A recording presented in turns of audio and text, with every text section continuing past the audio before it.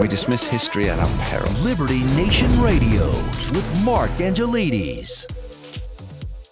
Racking up fine after fine for contempt of court, Donald J. Trump faces the wrath of the judge, or is it the wrath of the Constitution? That's what we're here to find out with Liberty Nation's legal affairs editor, Mr. Scott Cosenza. Thanks for being here, Scott. Cheers, Mark. My pleasure. So, Scott, the background here Donald Trump is in court and at time of recording has received 10 fines of $1,000 each for various contempts of court. Now, I guess what we really want to dig into is just how constitutional is it to fine someone for speaking about their personal circumstances? Yes, this is an area that is largely untested because uh, most of the the cases involve people who don't have ongoing uh, presidential campaigns and giant social most, media. I'd say a, lo- a very large percentage right? don't have ongoing yeah. presidential campaigns. So, uh, so you know, typically a witness who may grouse about you know being locked down with their speech uh, the locking of that speech down doesn't affect so much else in their life like it does with donald trump sort of his stock in trade is his quick quips and punching back twice as hard against people that are punching him verbally uh, or otherwise and so it's a different animal altogether it's you know they this is a special prosecution for donald trump and uh, and he's you know obligated to special rules uh, regarding its prosecution. So I, I, think we need to dig into it really. What a, a and just in case that wasn't clear, that was that was me being sarcastic and saying that the special prosecution is one that any other American would not have to undergo. This yeah. is totally and and exclusively about politics, it demonstrated marked by uh, the idea that Stormy Daniels is brought in to testify when there is no discrepancy over the facts regarding her testimony, which is to say, the existence of the hush money agreement uh, that everybody likes to call it um, is not in dispute. Trump hasn't said that he hasn't engaged in a hush money uh, agreement.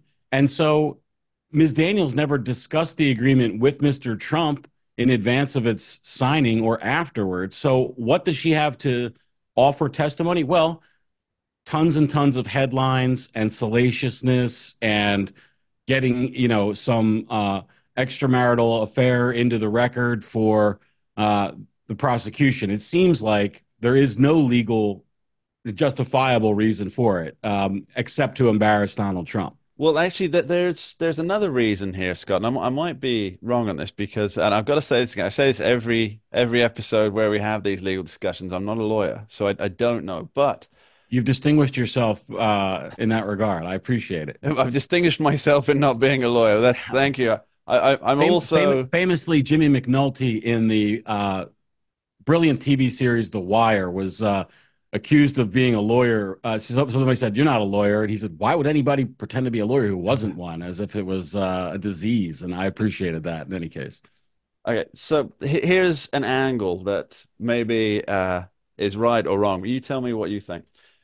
By bringing in Stormy Daniels, who, as you say, doesn't have any bearing on how Donald Trump filed his paperwork because she had no contact with him regarding his filing of the paperwork and other witnesses, this is stopping Donald Trump talking about pretty much anything that he might want to talk about. So, for example, it's almost, want- Mark, as if the entire exercise was devised not as an effort to deliver justice to the people of New York or against a, mal- a malefactor like Donald Trump, but instead to hobble his political ambitions and frustrate his campaign for president. It's almost like it was designed exclusively to accomplish that goal. Now, we know that can't be true because that would be counter to notions of justice that all those prosecutors and the, the uh, Judge Merchan are sworn to uphold.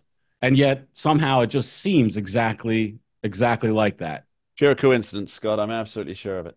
So yeah, by bringing in uh, all, these other witnesses.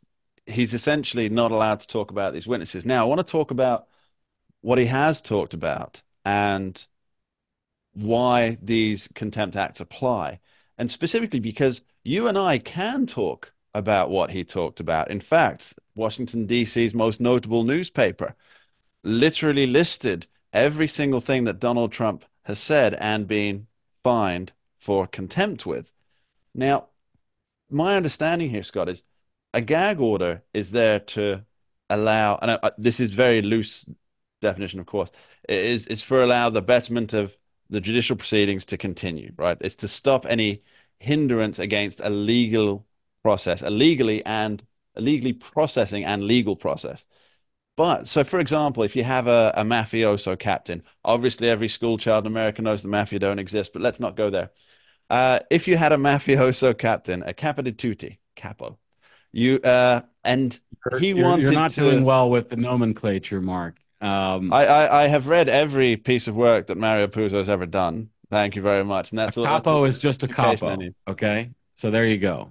Okay, thank you for that. So Yeah. let's say one of these non-existent uh, mafioso captains.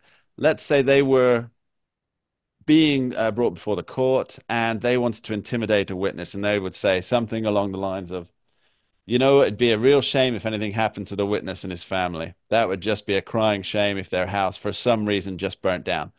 That's what a gag order's for, right? Well, that actually is a veiled threat, and so I think that that the the gag order is actually for a a lower standard than than that thinly veiled threat.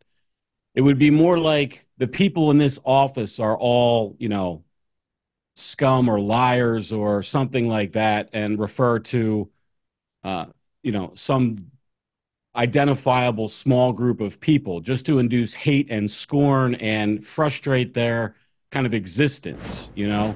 Um, Okay, well let, let's go with that standard for my hypothetical here then. yeah. So because the, because because with your hypothetical that would just be seen i think as a veiled threat and prosec- it could be prosecuted that way um, okay.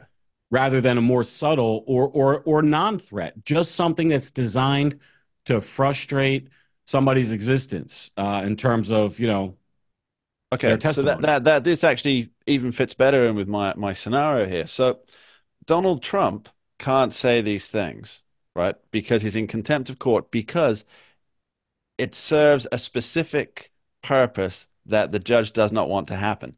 And yet, every media outlet in the entire country can reprint these things. So therefore, the net effect of what he said is is yeah is so what you're struggling with let, let me interrupt because every say- media outlet in the country is doing it because it's under the gag order. Right. So Donald Trump's free speech rights are impinged because he is in a criminal trial. This is not up for debate. Th- There, there's no, that's not a revelation to anyone. The question is whether that's okay, um, given given the circumstances. I think, but there's no dis- there- there's no dispute over whether there is an impingement on First Amendment rights while at trial. There is. It has always been, uh, to my knowledge, the, the Supreme Court has never ruled on a on, on a case regarding this, and my guess would be that it hasn't come up because we haven't had the system being used as it's being used in this instance, meaning it's not being used to protect the innocent or or uh, you know workaday person who happened to have seen uh, you know a gangland style murder and is testifying against it or some other thing uh, that is sort of more typical in the criminal justice world, but it's being used to frustrate an American's, you know, the leading contender for the presidency to run for the presidency, and uh, and so you know, yeah, we we've got a we've got a, a rip in the time space continuum here where a rule was implemented for I, I think entirely legitimate purposes, so that uh, the accused couldn't frustrate uh, the notions of justice that you know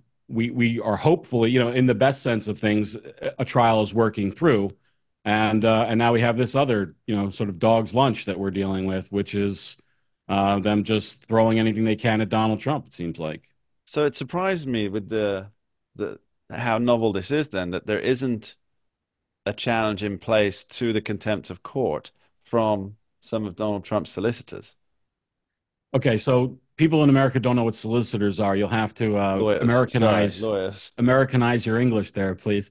Um, yeah, well, it is. It's just that something that will be fixed later on after the presidential election. So the courts are not designed for some kind of rapid response like okay the trial judge did x let's examine all these uh, problems that occurred at the trial level that's not how our system is set up our system is set up you know we've talked before mark on this program about some interlocutory uh, appeals that have gone on or appeals that are that uh, take place before the trial uh, is concluded and that that's a rarity our mm-hmm. system is set up so that you get a trial and if you don't like the decisions that the trial judge made or uh, they went against you and you're convicted, then you can appeal those decisions. But mm. before before then, it, you know, even even if it costs you the presidency, you know, it's not set up for like, oh well, let's let's you know integrate in our decision making that this may cost uh, a person the presidency, and then of course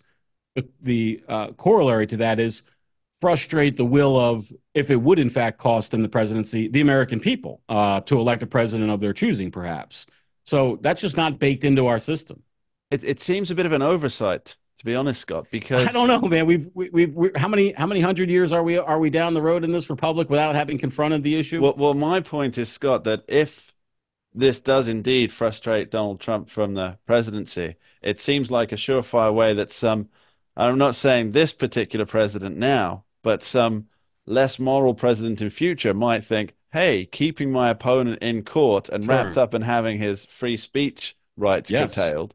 Well, Mark, our system, the US system, depends entirely on most of the significant actors not being uh, corrupt, uh, you know, self dealer power brokers, but instead having some kind of uh, greater good in mind and uh, adhering to their obligations under the Constitution. And to the like, we we don't have a system that's set up to deal with somebody who's just willing to do whatever they want to get power. You know, especially if there's multiples of those peoples. In other words, it's not just perhaps a prosecutor, but the entirety of the prosecutor's office or the prosecutor and a judge, for instance. Um, you know, we're we're just not set up to as bulwarks against those realities. That that's all what's coming to fruition now, and I don't know that our system can survive it uh, if you know pressed to the wall on these things because it's it's not set up for that. We and if you think about the practicality of how that would work, what would we have a special Supreme Court window at the at the courthouse for Donald Trump appeals where like every day there's a new thing. Okay, here's the latest gag order. Does this meet constitutional muster? It's kind of preposterous. Uh, although perhaps even necessary. Scott D. Cosenza, we'll be right back with you after this short break. Don't go anywhere. We dismiss history at our peril. Liberty Nation Radio with Mark Angelides.